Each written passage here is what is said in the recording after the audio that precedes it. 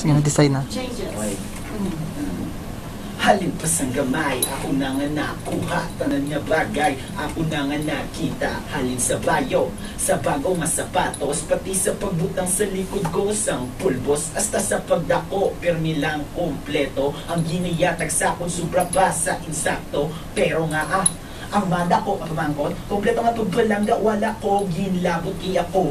Naglihis sang ako nga dalan, wala ko napamatiyan ang basta nga akong girikanan. Gani subong, naghinusol gid ako, kay nakasulod sa ginatawag na grupo. O ang ako nga bisyo hindi nagidya mapugan, pero nilang beer smoke o akong ginakatan. Pero mas kinaminiwiling ko yung magbato, para lang gid sa ibo o ako nga ginoo. This life is hard to face. We need God to win this race. Accept His love and grace and be forgiven.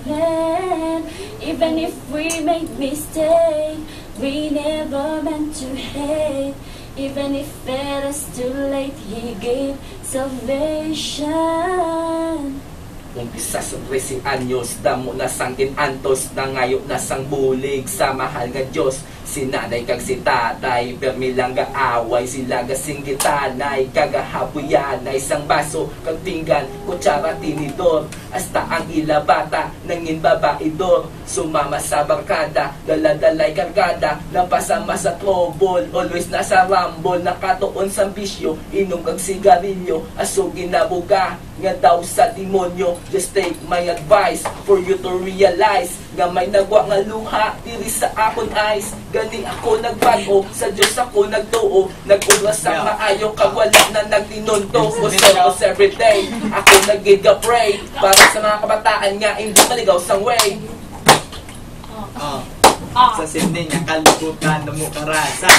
Iban nga kabataan, tinuntuan na tunan Imbis na libro, ang ilauyatan Kundi toter kakarog ang ginakap Remember, do you wanna go to hell? You get some drugs, drugs and sell. Kag kung madakpan ka, premium mo ay cancel Pamati sa advice, kag imo ma-realize That it is too late to apologize. Sa kulihot ang paginusul, ligawan ng trouble. Just pray to the Lord, kag magbasa ka Bible, manginehemplo. Hindi lang sa simbahan, kundi pati sa bayo kag para sa tanan Droga, sindikato, imo na. Pagpabayan, bisyo, sigarilyo, imo na. Pagkalimtan, mag-serve sa ginoo. Sincerely yours, Stan Okay.